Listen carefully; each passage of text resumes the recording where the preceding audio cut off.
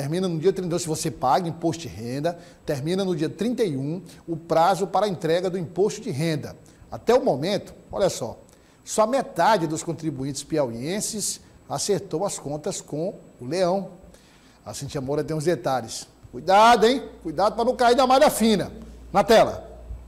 Todo ano é a mesma coisa. Corre-corre nos escritórios de contabilidade, filas na Receita Federal e um leão para acertar as contas. E não pode falhar. Apesar de ser uma obrigação, muitos acabam caindo na malha fina por descuido. Deve declarar o imposto de renda quem recebeu rendimentos superior a R$ 29.559 ou que recebeu rendimentos isentos não tributáveis ou tributados exclusivamente na fonte, cuja soma foi superior a 40 mil reais. O prazo começou no dia 15 de março março e encerra no dia 31 de maio.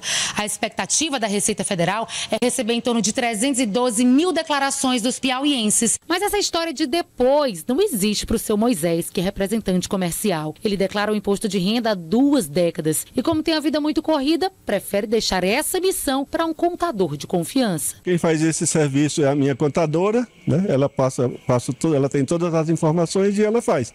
Eu não sei exatamente qual é o dia que ela faz, mas eu nunca deixo deixo para a última hora. A contadora que faz a contabilidade da nossa empresa e já faz a minha pessoa física e jurídica. Faz todo ano no, no período do mês. Nunca deixa para a última hora. Mas quem optar por fazer sozinho deve redobrar a atenção para não errar nenhuma informação. A declaração deve ser preenchida e enviada pela internet, pelo computador, tablet ou celular. Para acessar a conta, o contribuinte deve ter cadastro de nível prata ou ouro. Nesse ano, a Receita Federal fez algumas mudanças. Para esse ano 2023, é, nós iniciamos o prazo de entrega já no dia 15 de, de março, já, já começamos a receber.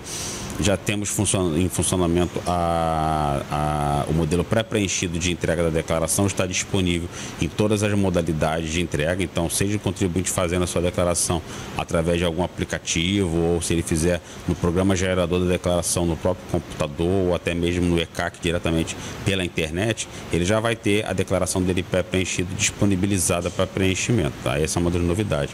A outra novidade é se o contribuinte ele optar por receber a sua restituição mediante o pagamento de PIX e fizer a opção pela entrega nessa modalidade de, do, do, do pré, da pré-preenchida, ele vai ter prioridade no recebimento dessa, da restituição. O primeiro lote da restituição começa a ser pago agora, no dia 31 de maio. Apenas as declarações recebidas até o dia 10 de maio estarão habilitadas para entrar no primeiro lote.